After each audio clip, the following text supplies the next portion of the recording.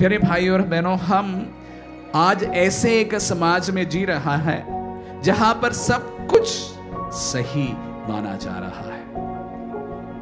विशेष रूप से संबंधों में, शारीरिक संबंधों में सब कुछ सही माना जा रहा है। और उस वक्त मरिया गुरेटी का जीवन एवं उनकी मृत्यु हम सबों के लिए एक चुनौती है। जीवन को पवित्र बनाए रखने की ज़रूरत। मरिया गुरेटी का जीवन हम सबको याद दिलाते हैं। एक चुनौती के रूप में हम विशेष रूप से हमारे युवा पीढ़ी के लिए प्रार्थना करें। प्रभु, उन्हें सही राह दिखाए और वे अपने सही राह पर हर समय चलते रहे। मरिया गोरेटी का मध्यस्थ एवं साक्ष्य उनके जीवन को गति ज़रूर बता करें